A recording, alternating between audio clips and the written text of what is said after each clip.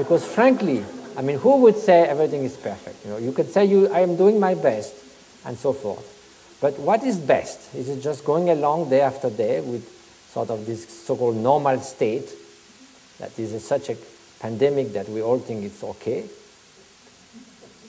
Well, let's be honest.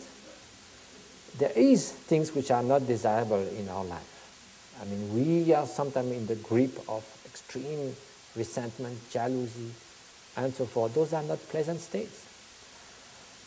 So now that there's two main questions. First of all, is it really human nature so that there's nothing we can do about it? And then, is it even, some people might even ask, is it desirable to change? So first of all, is it desirable? Now, some people say that's what makes a colorful life. We don't want, I don't want to get rid of my, you know, very this terrible ups and downs and upheaval and passions and all that because that's a colorful life.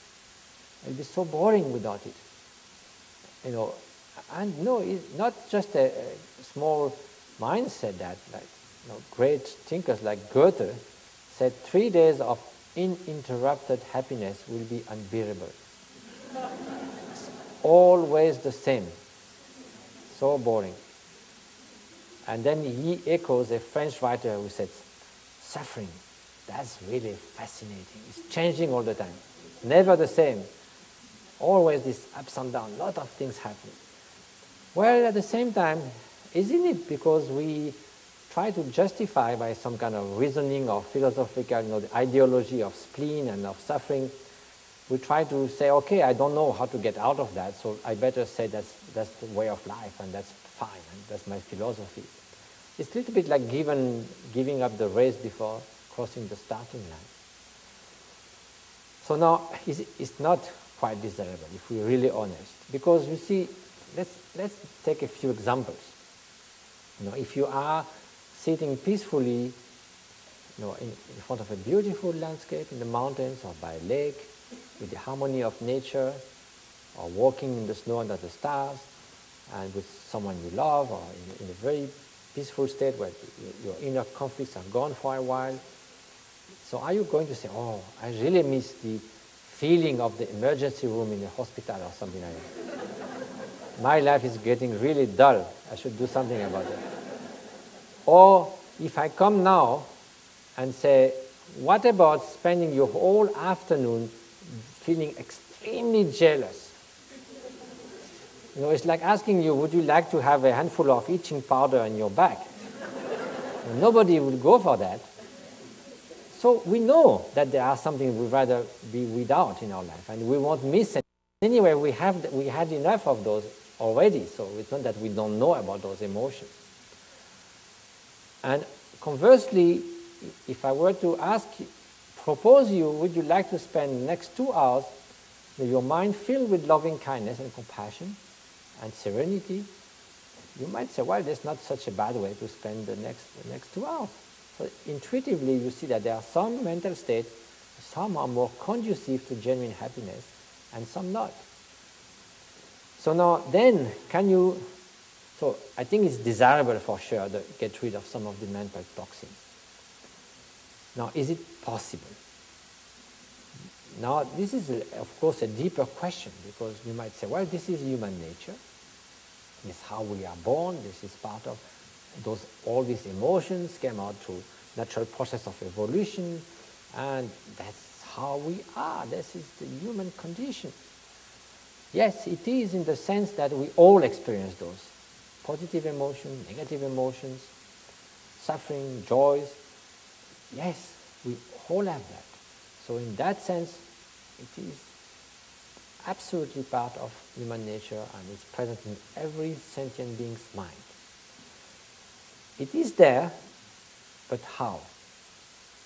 And at which level? Is it there like the white in this plastic? That means it's all over the the, the, the very substance of the practice. If you want to remove the whiteness, you have to destroy it. Or is it there, like maybe this letter on it, which I can maybe not this one, but if it's written with an erasable pen, I can remove it. It's there, but it's a result of causes and conditions of me having taken a pen and, and, and done something with an intention and, and so forth. So in that case, things can be changed. If it's not absolutely building, wired in, in the very core of our mind. So that's the question. Now, how can we answer that question? Well, from the Buddhist perspective, we can reflect from a, a contemplative or introspective approach. Yes, we do have. Or let's take another example still to better uh, approach that problem. Light, for instance. Light allows me to see all of you. And, and I can see something that is blue, that is red. I can see something that uh, imagine is uh, nice, uh, sound, and uh, or I can hear the, a, a, shrieking a, a, door that is making a terrible noise.